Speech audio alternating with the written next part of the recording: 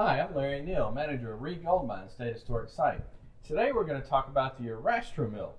In the early days of the Reed mine, they used both Chilean mills and Arrastra stones and mills to crush the quartz to mix it with the mercury to form the amalgam. Unlike the Chilean mills that used two upright stones in a bowl moving around, the Arrastra mills used anywhere from two to four stones with a smooth base, similar to this model here, pulled around by horses to crush the quartz, mix it with the mercury in the bottom of the bowl to form the amalgam.